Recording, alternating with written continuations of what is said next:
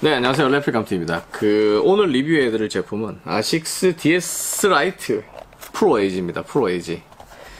Pro AG 흰색. 제가 그 커뮤니티에는 뭐 사진을 이미 올려드렸었죠. 이미 올려드렸었고, 어, 실물로 제품의 리뷰를 해드리는데, 어떤 의미에서 보면 뭐 이 아식스 DS Light 제품을 리뷰를 한다 하는 건 큰 의미는 없어요. 왜냐하면, 기본적인 그 fit감, 뭐 이런 것들이 이미 뭐 충분히 이게 뭐 어떤 형태로 나오든지 웬만큼은 다 신을 수 있는 그 무난한 제품이다. 이런 그 평을 들을 수 있는 제품이기 때문에 어, 뭐 이걸 사실 뭐 디테일한 리뷰를 한다 하는 건 사실 큰 의미는 없어요.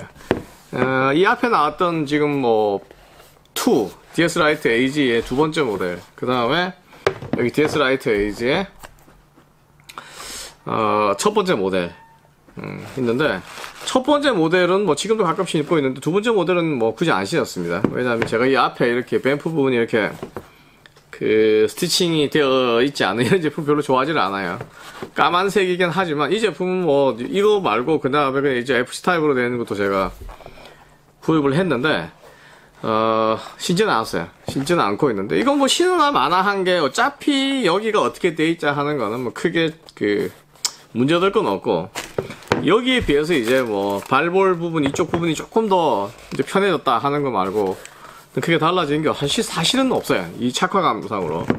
그럼 이제 이때랑 비교를 해가지고 실제로 뭐 달라진 게 없냐? 또 그렇지는 않은 게 이때는 뭐 제가 이 제품을 구입해서 처음 신었을 때는 여기가 너무 타이트해가지고 야 이거 신을 수 있을까? 우려를 할 정도였었어요. 근데 X-Fly 4를 이제 거의 비슷한 느낌으로 신고 하면서 이게 충분히 이제 역시 가죽을 사용하게 되면 어, 특히 앞쪽 부분에 가죽을 사용하게 되면 처음 착용에서는 이게 상당히 타이트한 느낌을 받는다고 하더라도 어, 가죽의 미세한 그 신축성을 활용을 잘 하면 소위 말하는 이제 molded 성형을 잘 가져올 수 있고 그러다 보면 에, 굉장히 편하게 신을 수 있는 신발이다 하는 점들 이제 X-Fly 4를 통해서 확인을 했고 그 다음에 이제 stud 상에 조금 더 이점이 있는 이 AG의 stud를 갖고 있는 이 제품으로 이제 넘어와서 잘 신고 있고 지금도 사실 신어요 한 번씩 갖고 나가서. 그래서 뭐 이 제품이 어떻다 하는 거는 사실 크게 검증이 이미 어쩌면 다 완료가 된 상태다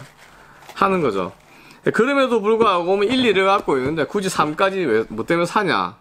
원래 3이라는 명칭은 없어요. 제 기준으로 지금 제가 샀던 게 이게 1이고 이게 2고 이게 세 번째기 때문에 상이라고 하는 것 뿐이고. 왜 사느냐? 그만큼 신발이 좋은 신발이거든요. 네, 그만큼 신발이 좋은 신발이고 편하게 신을 수 있는 신발이고. 제가 리뷰를 안 했으면 안 샀겠죠. 특히 흰색은. 보시다시피 다 까만색인데. 아식스가 런칭만 하게 되면 흰색을 출시를 하니까.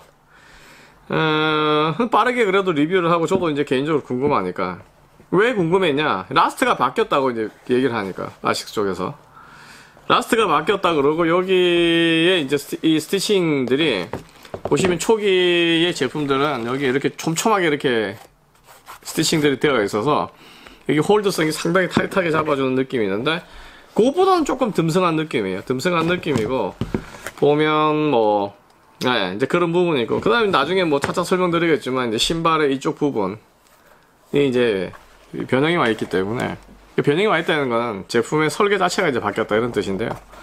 그런 부분에서 좋고 그 다음에 지금 뭐 우리나라에 이제 그 여러 브랜드들 데프 니브도 에이지를 내겠다. 그 다음에 뭐 또 뭐 나이키는 AG가 나오고 있고 아디다스 AG는 사실은 뭐 제 입장에서 보면 Crazyfast든 아니면 그 뭐죠 어 Predator든 뭐 그런 제품들이 갖고 있는 아 AG는 뭐 딱히 우리나라에서 과연 이게 괜찮을까 하는 생각이 들 정도로 별로고 푸마는 다행히 MG가 나와주고 있어서 뭐 MG 여러 가지 모델들과 이제 본인 뭐 족형, last fit이지 이런 걸 비교를 해서 신으면 비교도 잘 신는, 신을 수 있는 신발들이다. 이제 이런 것들은 익히 알려져 있죠.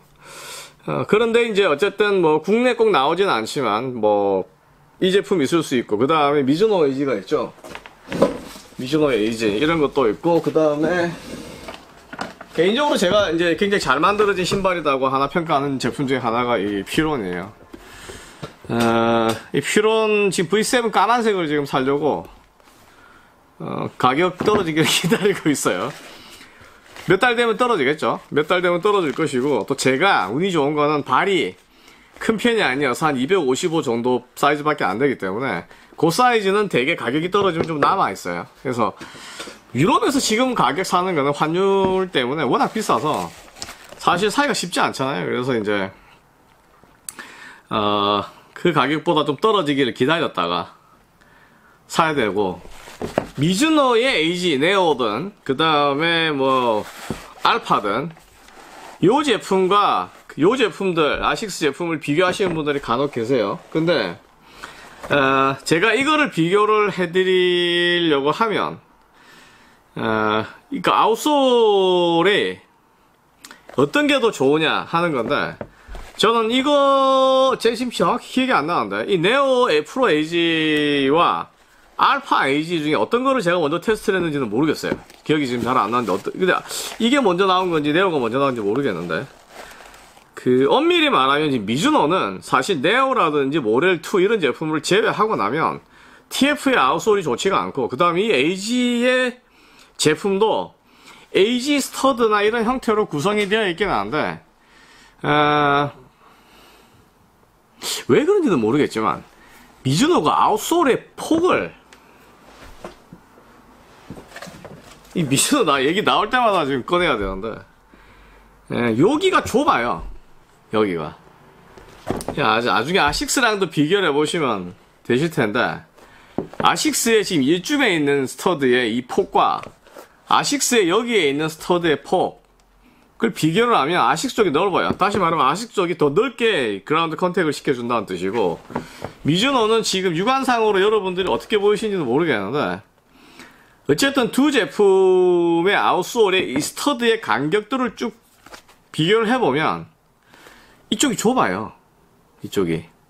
그러니까 그라운드 전체적으로 닿는 면적이 좁다 폭이. 이 TF가 대, 대, 그 뭐죠? 에, 에, 대표적인 제품인데 요 TF인 경우에는 지금 요 맨 아웃 바깥쪽에 있는 이 outsole 아 stud 이 형태 여기는 안 닿고 이 제품은 실효 면적이라고 할 수 있는 면적 요 정도밖에 안 돼요. 그래서 이걸 이렇게 놓으면 이게 이렇게 흔들리는 거거든요. 보시고. 희한하게는 뭐냐면 힘이 가해지더라도 이게 완전히 발에 닿질 않아요. 그래서 이 제품을 처음 신는 사람들은 약간 당황할 수도 있고. 그 이제 이런 부분들이 미즈노 쪽에서 충분히 지금은 뭐 개선이 돼서 나오는지는 잘 모르겠는데 요것도 마찬가지라 이거죠.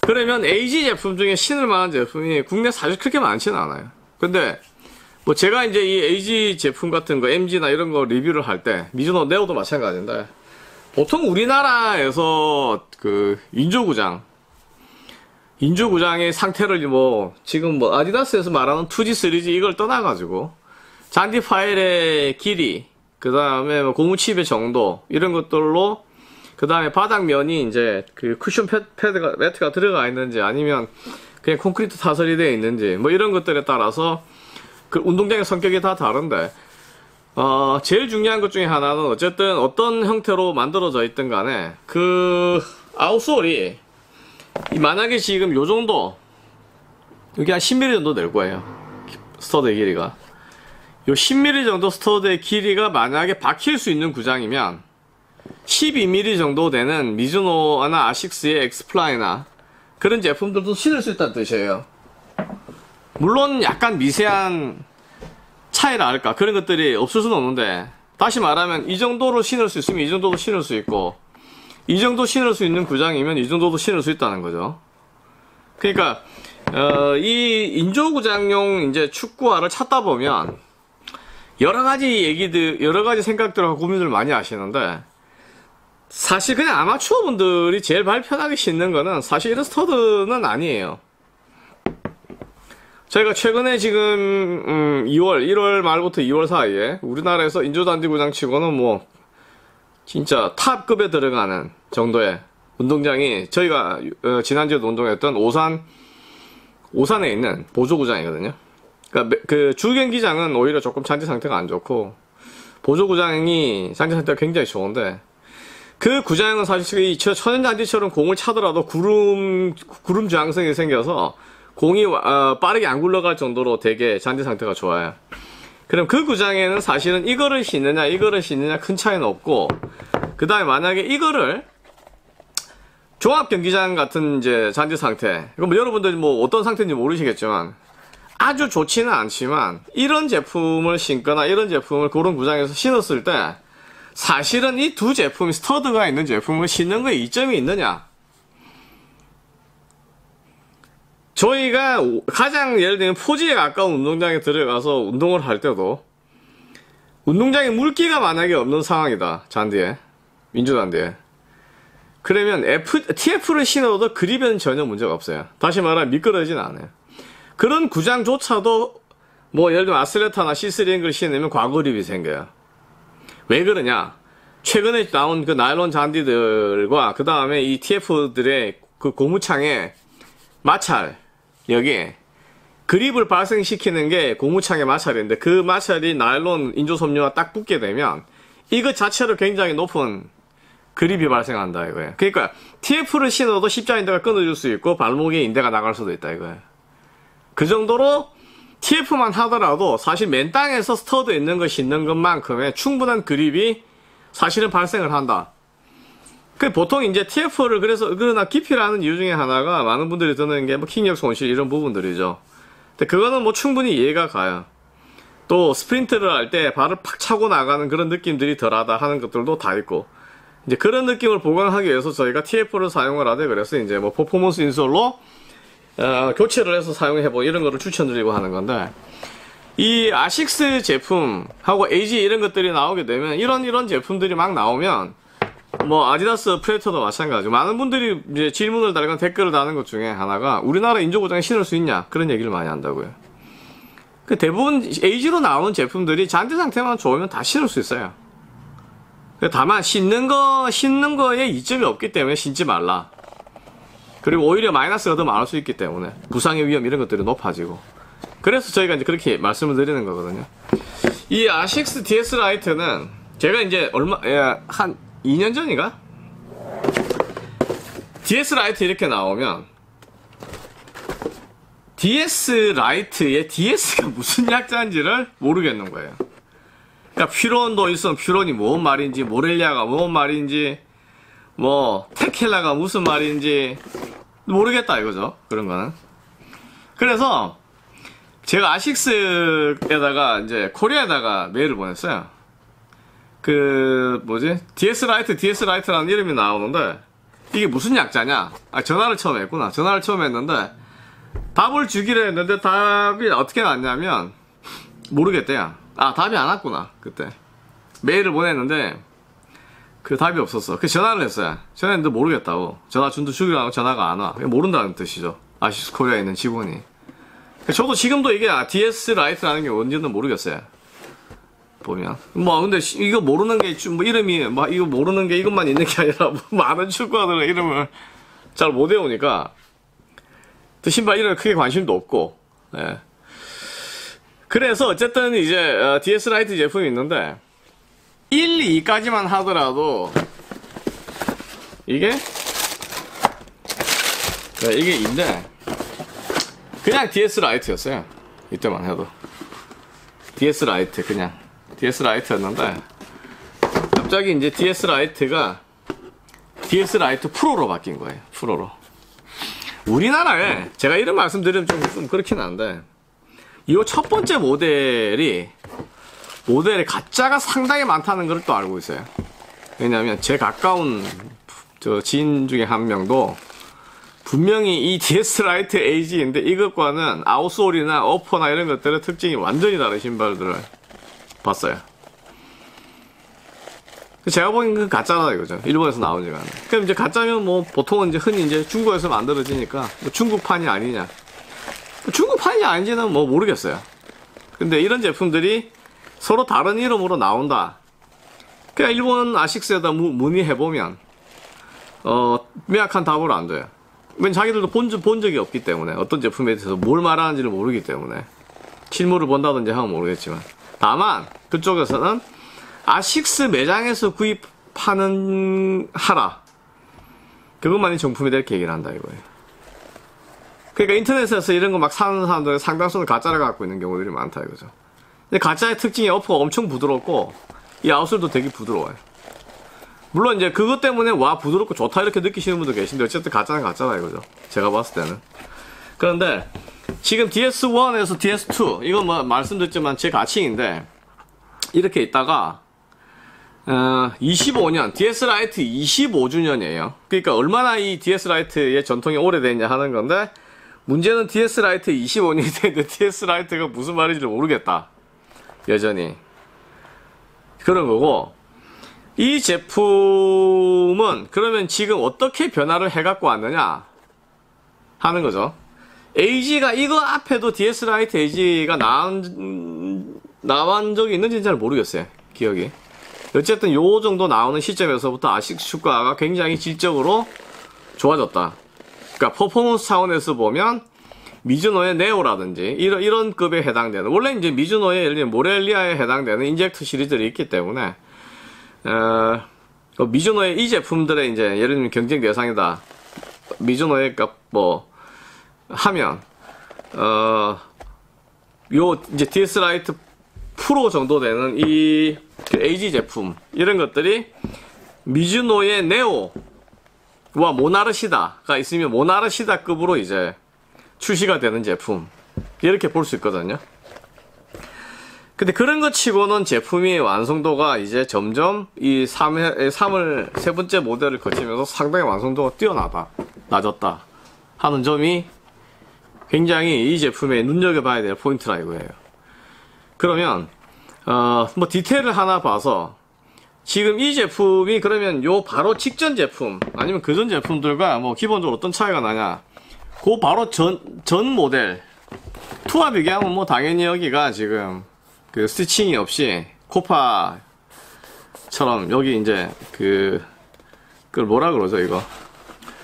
접합 그러니까 본딩 처리하는 방식으로 이렇게 그 어퍼를 만들어서 뱀프 쪽으로 이렇게 사용을 하고 있다는 거고 반면에 이제 3에 오면 요런 식으로 스티칭을 갖고 있는 캥거루 가죽 모델로 변경이 됐다 하는 거죠. 근데 이, 뭐, 이의, 이 지금 전족부의 형태는 이전에 있던 형태와 유사하긴 하지만 똑같진 않아요. 스티칭 방식이. 여기가 훨씬 더 보시면 어, 조밀했고 아까 처음에 말씀드렸지만 그런데 그것들이 조금 완화가 되는데 이 구조는 X-Fly 5의 upper랑 비슷해졌어요. stitching 방식이. 그러니까 지금 X-Fly의 그 모델과 비교했을 때 이제 그런 부분이 상당히 유사해졌다. 자, 그러면 이거는 이제 인조 숭 인조 가죽인데 지금 여기에도 인조 가죽이 지금 사용되고 있잖아요. 보면 이게 예전에도 리뷰를 할 때 말씀드렸는데 one 당시에 인조 가죽은 상당히 뻣뻣했어요. 뻣뻣했는데 이 뻣뻣함이 나쁘지는 않았던 게 이 뻣뻣함이 전족부 쪽이 잘 fitting이 맞게 되면 여기 중족부 이하의 인조 가죽으로 인사이드 아웃사이드 되어 있는 부분은 hold를 담당을 해주니까 여기에 공을 차고 하는 것들에 있어서 상당한 휴지의 홀드감 자체가 높여주는 효과가 있더라 이거죠. 그리고 이 어퍼가 되게 두꺼우니까 뭐 비가 조금 내렸다 물이 좀 어, 있다고 하더라도 신발 전체가 그러한 영향을 적게 받는 지속적인 홀더성이 유지되는 장점이 있었어요. 2에 오게 되면 인조 가죽의 강도 이거는 좀 이전에 원에 비하면 훨씬 부드러워집니다. 이 부분은 이 부분은 부드러워지는데 그렇다곤 하지만 이 너무 딱딱한 느낌에서부터 약간 완화된 느낌으로 전체적인 착화, fit감에 약간의 up 이 된 업그레이드가 된 그런 구조이고 기본적으로 이 제품도 전반적인 fit감 이런 데서는 one과 비교했을 때 크게 사실 달라진 건 없었었어요. 요 앞쪽 부분에 미세한 요 stitching 변화에 따른 미세한 변화만 있는 것 뿐이고 나머지 뭐 예를 들면 tongue이다 아니면 뭐 뒤쪽에 이제 스웨이드 타입이다 아니면 뭐 또 그 뭐죠? 그 insole이다. 뭐 이런 부분에서는 사실 크게 달라진 바가 없었고 특히 이제 2와 1 사이에는 요 그 뒤쪽에 요 뒤쪽에 지금 여기 어, 까맣게 요 보인 outsole이 이렇게 되어 있는 위쪽에 들어가 있는 이 EVA heel 뒤쪽에 cushioning을 담당하는 부분 그 다음 이 아래쪽에 지금 들어가 있어 GEL로 적혀 있는 이 부분들. 요런 부분들이 어차피 지금 두 개가 거의 동일하죠. 동일하고 에바가 인저트 되어 있는 부분도 동일하고. 근데 이 당시에 지금 제가 그 저 기억하기로는 어 아웃솔 플레이트에 그러니까 여기 중쪽 여기 앞쪽은 여기가 굉장히 부드럽게 이렇게 움직이는 거거든요 발가락 쪽은 근데 여기 중족부는 되게 단단하게 구성이 되어 있었어요 원대 2로 와서 기본적으로 여기도 그 보시면 여기 지금 이렇게 했을 때 여기가 휘어지고 그 다음에 앞쪽도 3단위로 이런 식으로 휘어지는 거죠 2에 와서도 여기가 요 그 가로 줄이 이렇게 사실 잘 안 보이실 텐데 요 부분이 이렇게 휘어지는 거. 그요 휘어지는 요네 개의 스터드가 달려 있는 쪽. 이쪽 부분에서 지금 이렇게 휘어짐이 발생을 한다. 여기도 휘어지는데 문제는 휘어지는 위치가 요 2에서는 네 번째 stud, 네 개에 있는 stud 쪽이지만 여기서는 요 바로 그 위쪽 부분에서 이렇게 휘어지는 구조였어요. 그러니까 설계가 약간 변경이 됐다 할 수 있는 거죠. 보시면 여기가 휘어지는 것과 여기가 휘어지는 거는 요, 요 부분이 휘어지는 거는 그러니까 앞에서 하나 둘 세 번째가 휘어지는 거랑 이렇게 했을 경우에 앞에서 하나 둘 셋 네 번째가 휘어지는 거 요런 부분들이 미세한 차이가 있고 여기 부분이 휘어지는 거는 지금 요 2에서는 어, 원처럼 그렇진 않아요. 왜냐 원 쪽에서는 첫 번째 두 번째 사이가 요런 식으로 쉽게 휘어지는 그런 구조였거든요. 그러면 뭐 요런 이제 디테일의 변화가 있었으면 뭐 나머지 3에 와서 어떻게 됐냐 인조 가죽의 느낌은 이때나 이때는 사실 크게 다를 건 없다고 봐요. 사용되는 그 인조 가죽 자체가 동일한 사- 가죽이 아닐까 이런 생각이 들고 텅이 조금 더 이제 마치 그 뭐죠? 요때는 약간 약간 그 물론 가죽 느낌이긴 한데 조금 이 어퍼의 느낌이 가죽 이렇게 까만색이어서 그런지도 모르겠는데요. 약간 뭐 인조 가죽 냄새가 좀 풍긴다 그러면 이쪽으로 조금 오면 제법 천연 가죽 냄새가 나는 그 천을 사용을 했다. 이게 이제 실제 저, 저기 천연 가죽은 아니거든요. 근데 어쨌든 시- 천연 가죽 냄새가 물씬 풍기는 그런 가죽을 사용을 했고 그 다음에 사이드 인조 가죽은 뭐 이때나 이때나 사실 큰 차이가 없이 어, 비슷한 류의 이제 인조 가죽이 사용이 됐다. 이걸 뭐라 부르고 이러는지는 모르겠어요. 예, 그 다음에 어, 딱 제품을 받아서 이제 육안에서 느낄 때 그 차이가 나는 부분은 3에 와서 여기에 있는 고무 힐 쪽에 충격을 흡수시키는 이 고무의 양이 굉장히 많이 들어갔다는 거예요. 여기는 보시면 1, 2 때는 여기 이 아웃솔에서 연장된 부분에 조금 위에 조금 뭐 이게 미리수로 따지면 한 몇 미리 될까요? 한, 어, 한 3mm? 3mm 정도 되는 음, 정도? 3mm, 4mm 정도 되려나? 그 정도, 4mm? 뭐 그 정도 되는 양이 요렇게 쭉 요렇게 뒤에 가 있다 그러면 여기에 오게 되면 거의 한 8mm, 9mm, 10mm? 그 10mm까지는 안 되려나? 그 정도로 상당히 이 양이 늘어났어요. 그래서 이 제품의 무게가 굉장히 무거워졌나 하고 무게를 달아봤더니 그렇지는 않아요. 이게 255 기준으로 한 200g, 210g, 아 220g 정도? 그 되면 이게 한 217g, 요게 한 216g 이 정도 되니까 사실은 3g 전체적으로 보면 3g 내에서 무게가 왔다 갔다. 근데 고무를 넣었음에도 불구하고 어, 더 넣었음에도 불구하고 무게가 크게 증가하지는 않았다 하는 거고 투랑 비교했을 때 뭐 인솔도 똑같아요. 네, 이런 부분들은 사실은 뭐 크게 달라진 건 없다. 보면 모양도 그렇고 사용된 소재도 그렇고 기본적으로 이거는 똑같고 그 다음에 지금 뭐 바닥면을 보더라도 두 제품 사이에 뭐 크게 뭐 달라졌다고 할 만한 요소들은 없어요. 그러면 너무 뭐 똑같나 이게 크게 달라진 것도 없고 그럼 이거 있으면 이거 안 사도 되나 물론이에요. 이거 갖고 계시거나 이거 갖고 계신 분들이 굳이 이거를 살 이유는 없다고 봐요. 근데 그럼 요게 진짜 다 달라진 게 이게 에, 다인가? 이런 생각을 하시잖아요.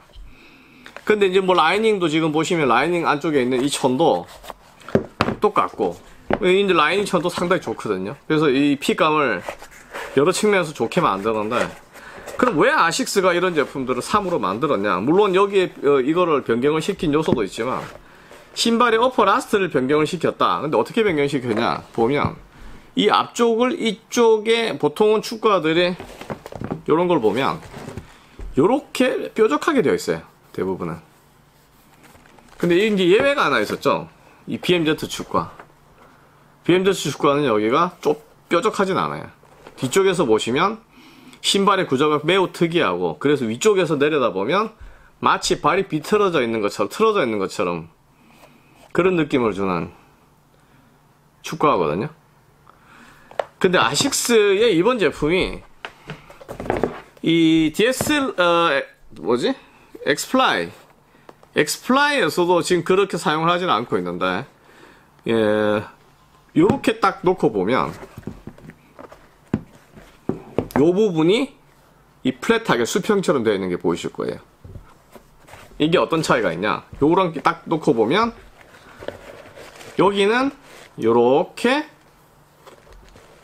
굴곡을 갖고 있는데 여기는 이렇게 가서 요 부분이 수평처럼 되어 있어요. 이런 식으로.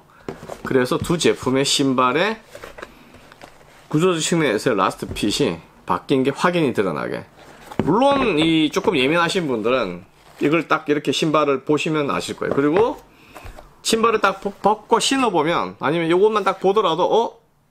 여기가 이렇게 좁빗하지 않고 여기가 이렇게 플랫하게 되어 있네? 하는 점.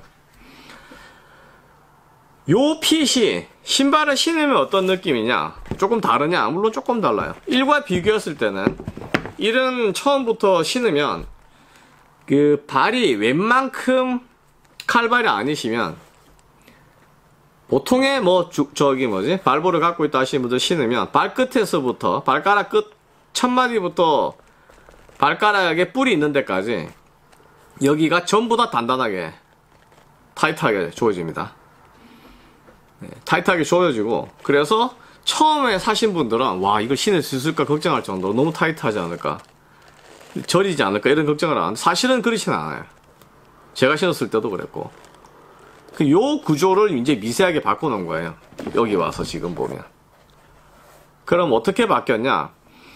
발가락 첫 번째 마디 정도까지 요 제품으로 본다 그러면 여기 스티칭이 마지막 시작된 첫 번째 스티칭 정도 뭐 그 정도라고 해야 되나 아니면 조금 그 뒤까지라 해야 되나 고까지에서 이 타이트함에 조여주는 정도가 약간 미세하게 느슨해졌어요 어차피 두 개를 신으면 다 저 같은 사람이 신으면 이 두 개의 피상에 미세한 차이만 남고 어, 뭐 어느 쪽이 발볼이 훨씬 더 넓어졌다. 이 정도는 아니거든요. 근데 이 전족부 쪽의 발가락 끝을 이 잡는 데 있어서는 이쪽이 더 낫긴 한데 그 느낌이 초기 착용의 시착에 있어서 타이트하게 지나치게 타이트한 느낌을 받았다고 하면 여기서도 여기에 지금 스터드 상으로는 첫 번째 마디 위쪽에서는 그 부분이 지나치게 타이트한 감은 약간 풀어줬어요. 그러니까 신었을 때 전반적인 fit감이 좋아지고 그러다 보니까 이 신발의 어퍼의 핏감 자체로만 본다 그러면 그보다 상급 모델인 엑스플라이 모델의 fit감이 어느 정도 구현이 되어 있다. 그런 느낌이에요. 근데 지금 일본에서 그러면 이 제품을 어떻게 포지셔닝을 하느냐? 일본에는 뭐 많은 축구 선수들, 중학교, 고등학교, 뭐 대학교, 프로, 뭐 온갖 뭐 사회인 축구팀 뭐 이런 것도 있겠죠. 그런 여러 가지 있는데 그 여러 가지에서 소위 말하는 엘리트급 선수들, 그러니까 이제 축구 선수로서 축구를 직업으로 삼겠다고 하는 선수들, 완전히. 그게 이제 일본에도 상당수가 있고 그래서 뭐 전국 대회 막 그 4강 막 이렇게 올라가게 되면 그 정도만 하더라도 일본에 그러니까 고시행 야구 대회 뭐, 뭐 우승이 아니더라도 뭐 예를 들면 결승까지 갔다 Final Four다 아니면 뭐 이 정도만 되더라도 왜 어마어마한 이제 주목을 받고 각광을 받게 되는데 일본 내 지금 이제 고등학생들 엘리트 선수들이 이 엑스플라이 같은 제품을 사서 어, 신고 경기에 나간다 이거죠. 나가는데 문제는 이게 상당히 고가라 이거예요. 이게 고가에서 어, 이걸 가지고 하- 어, 그 강도 높은 훈련을 계속 소화하다 보면 축구화를 2, 3개월, 3개월에 한 개월씩 바꿔야 된다. 새로 사야 된다. 근데 이런 문제가 있다 이거죠. 그래서 시합은 뭐 이런 아주 좋은 제품을 갖고 나가서 신고 연습할 때는 이것보다 조금 아래 등급을 샀어라.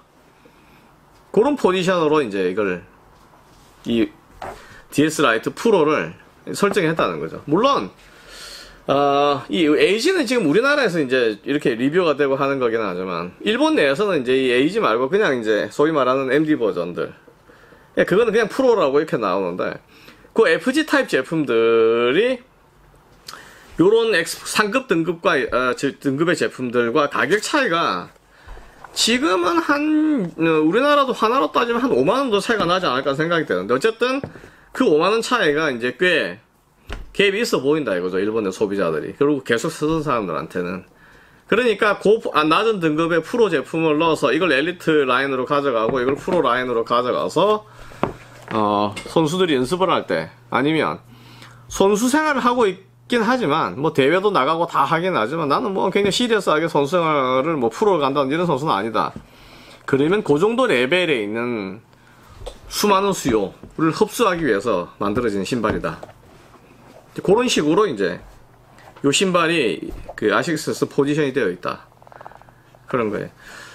보시면 가죽의 어퍼의 질이 음, 요렇게 예전에 이건 물론 너무 많이 신었고 그 다음에 뭐 물에 젖었다 말랐다도 반복을 했기 때문에 이미 조금 가죽이 최초의 온전한 상태는 아니라고 할 수 있는데 요 상태에 비하면 지금 이 흰색으로 되어 있는 이쪽 가죽이 훨씬 더 좋아 보이죠 육안으로 보면. 만졌을 때도 그렇고. 그 다음에 스티칭 방식이 바뀌면서 이 앞쪽이 굉장히 부드러운 느낌이 들어서 이때 이 저 뭐죠? 뭐 이렇게 타이트하게 이렇게 쭉쭉쭉쭉 이렇게 좁게 형성되어 있는 그 스티칭에 비하면 조금 더 여유가 있어 보이는 스티칭이고 또 특히 이제 이 stitching이 이제 엑스플라이 아니면 기존의 모나르시다 stitching과도 거의 똑같아요. 이 앞쪽에 이 stitching 되어 있는 부분들은 그래서 그래서 고, 어, 이제 그런 느낌을 주도록 만들어져 있고 말씀드렸지만 이 EVA 뒤축에 양이 굉장히 많이 들어가면서 뒤꿈치부터 지면에 착지가 되거나 할 때 이전 모델에 비하면 조금 더 cushioning성 이 조금 더 증가되지 않나. 그러면 어, 당연히 이제 인조구장에서 딱딱한 인조구장 사용하기가 조금 더 편해지지 않나. 뒤축 쪽, 복, 저, 쪽에서는 그런 걸 이제 우리 우리가 어, 생각할 수 있죠. 그래서 어, 이 DS 라이트 AG 제품은 지금 뭐 이게 아식스가 뭐 국내에 이걸 정식 출시해주지 않는 거는 저로서도 상당히 아쉽고 만약에 이게 뭐 국내 출시가 됐다 그러면 한뭐 어, 한 얼마 됐을까요? 한, 한 15만, 13만 9천 원? 이 정도 되지 않았을까? 아식스가 옛날 엑스플라이를 그렇게 비싸게 팔진 않았거든요. 18만 9천 원 정도밖에 안 했었던 기억이 있기 때문에. 뭐 한 15만 9천 원? 이 정도로 판매됐지 않았을까 이런 생각이 드는데.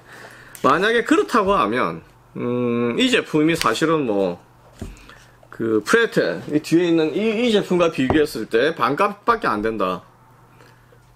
그러면 이걸 사는 게 낫죠. 이거 사는 게 낫네.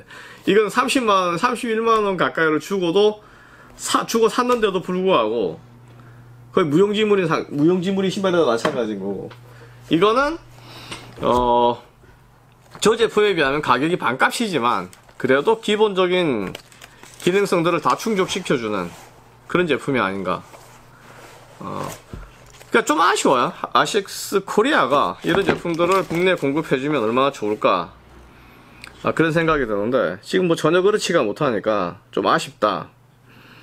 음, 뭐 그게 이제 제가 봤을 때는 사실 제일, 아, 아쉬운 부분이에요. 아쉬운 부분이고, 어, 이 좋은 가죽, 그 다음에 좋은 구조, 어, 그 다음에 이 뭐 통 개방되어 있고, 그러면서 슈즈 어퍼의 유연성 같은 게 잘 확보가 되어 있고 또 어, 2에 비하면 여기에 이제 one과는 거의 비슷한이긴 하지만 여기에 지금 그 spine 쪽에 높게 솟아 있으면서 여기 강성이 상당히 이 에, 에, 에바를 집어넣기 때문에 여기가 쉽게 휘어질 것 같이 생각하지만 사실은 여기는 또 꿈쩍을 안 하도록 만들어 놨고 여기에서 접었을 때 지금 초기 원처럼 이렇게 접히는 부분이 조금 더 이제 개선이 되어 있고 이런 부분도 대신에 네 번째, 세 번째, 네 번째 마디, 요 이제 설계가 아웃솔이 이렇게 비교를 해보시면 이제 바뀌었거든요. 그러니까 여기 가운데 하나, 둘, 셋, 넷, 다섯, 여섯 이렇게 요 가운데 부분을 쭉 배치되어 있던 것들이 단순하게 나이키의 그 세 개 이렇게 점처럼 되어 있는 것처럼 작은 스터드로 바뀌어 버렸어요. 바뀌어 버렸고 뭐 뒤축에도 지금 이 그 뭐죠? 어, 여기 지금 그 요렇게 되어 있는 거, 요 그 위치 이런 것들이 아, 뭐 거의 저- 그 차이가 없이 잘 구성이 되어 있고 어, 그러니까 이제 스터드 개수는 조금 이제 줄었지만 사실은 스터드의 높이나 뭐 이런 것들은 큰 차이가 없다 하는 느낌이에요. 그러니까 이거를 실제로 지금 제가 정확하게 좀 비교를 해보긴 해야 되는데 어, 느낌상으로 이게 이쪽이 지금 조금 더 낮아진 것인지 한 1, 2mm 낮아지는지 안 낮아지는지는 아, 쉽게 판단이 안 돼요. 현재 이 상태로. 왜냐면 여기 지금 spine이 올라와 있고 하기 때문에 어, 뭐 육안으로 보면 약간 낮아지나 하는 느낌이 들긴 하는데 실제로 낮아졌는지는 조금 더 뭐 측정을 해봐야 되지 않을까 이런 생각이 들 정도고 어, 뭐 어쨌든 개수가 좀 조정이 되어 있다 하는 것 말고는 사실 크게 근데 사실 이게 스터드 높이가 1, 2mm 차이 난다는 거는 이 구조에서는 큰 의미는 없으니까. 어, 다만 요, 이 앞쪽 부분이 지금 이렇게 두 번째 마디 쪽에서 이제 이렇게 휘어지는. 그러니까 이거는 결국 스프린트라든지 이런 거 축구 선수들은 사실은 마라톤에서 있는 무드풋, 아, midfoot 러닝 주법이냐 아니면 뭐 포풋 주법이냐 아니면 힐 쪽에서 하는 주법이냐 뭐 이런 여러 가지를 가지고 효율성을 따지는데 축구는 사실 대부분의 경기에 있어서 발가락 앞쪽을 쓰지를 못하면 스프린트나 이런 걸 못하기 때문에 여기 앞쪽이 제일 중요해요. 그래서 뭐 축구용의 이제 인솔인 경우에 카본을 여기 앞쪽을 쓰지 않는 이유 중에 하나가 여기에 있는 거를 발가락들을 제일 잘 활용하는 뭐 단순하게 탄성을 얻기 위해서 발가락을 억지로 구별해서 어, 그 탄성을 더 많이 이용하는 것보다는 원래 발가락이 갖고 있는 능력치를 최대한 활용할 수 있는 쪽으로 하면서 발을 보호하는 역할. 그래, 요, 그, 아웃솔에 이제 요, 그 전족부의 굴곡의 강성이 그런 식으로 설정이 되는 건데, 그런 측면에서 보면 지금 이 제품은, 어, 우리나라 분들이 상당히 좋아하실 수밖에 없는 제품이다. 뭐, 말씀드렸지만 미즈노, 네오의 프로 이런 거 나오긴 하지만 이것보다 이 outsole의 면적, stud의 위 배치상으로 그라운드의 전체적인 contact 능력이 더 뛰어나고 그 다음에 지금 뭐 미즈노랑 딱 비교를 하게 되면 앞쪽 전족부 last가 확 다르게 느껴지잖아요. 이쪽 부분이 여기는 이렇게 flat하게 되고 여기는 이렇게 뼈 있고 이 이런 측면에서 last 개선이 돼서 조금 더 다양한 발들이 수용될 수 있고 그런 점도 이, 이 제품의 장점이고 또 뭐 천연 가죽에 사용되어 있기 때문에 전족부 어쨌든 fit감에서는 뭐 인조 가죽을 사용하는 것에 비하면 발군으로 더 좋을 수밖에 없고 또 인조 가죽 자체도 상당히 부드러우면서도 hold성이 장기간 유지되는 소재이기 때문에 어, 신발을 장기간 사용하더라도 신발의 내구성 문제를 일으킬 가능성이 별로 없고 또 이제 우리 분들은 우리나라 분들은 뭐 앞코 부러지 이런 거 아니 얘기를 하지만 여기 리벳을 딱 박아놨기 때문에 여기랑 지금 인프론트 이쪽을 차는 쪽에 리벳을 양쪽에 받아놔서 힘이 많이 공을 킥을 할 때 힘이 많이 전달되거나 받는 부분에 그 부하를 이 신발이 견뎌야 되는 부하를 어쨌든 간에 어, 효율적으로 감당하기 위해서 이렇게 리벳을 받아서 분리되는 걸 방지시켜 놓고 이런 것들 보면 역시 아식스가 잘 만든다 하는 느낌이에요.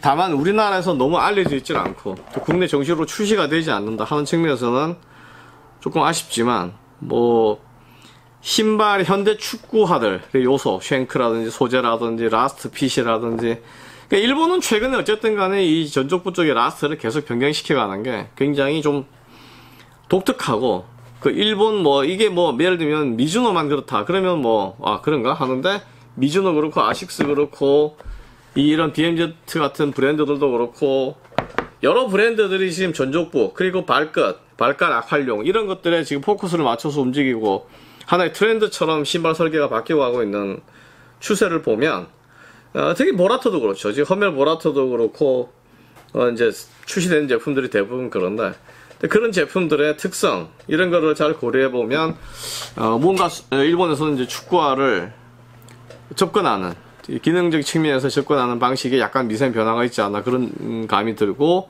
그것들이 어쨌든 간에 전체적인 핏감을 좋게 해주는. 아, 그리고 이제 미세한 변화를 통해서 뭐 퍼포먼스의 변화를 준다. 그런 그런 측면에서 접근 방법. 그게 실제로 어느 정도 효과가 있냐 이런 거는 뭐 논외로 치더라도 어, 뭐 그런 식의 이 디테일에 대한 접근 이런 것들이 상당히 돋보이는 제품이 아닌가. 개인적으로 그런 생각이 듭니다. 그래서 어, 뭐 백날 말 해봐야 소용이 없죠. 그래서 어, 설명은 여기까지 드리고 그 다음에 어, 실제로 신발 신발을 신어봤 신어보고 그 다음에 신었을 때 이게 구체적으로 어떤 느낌이고 어떻게 보이는지 하는 것들을 추가적으로 또 보여드리도록 하겠습니다.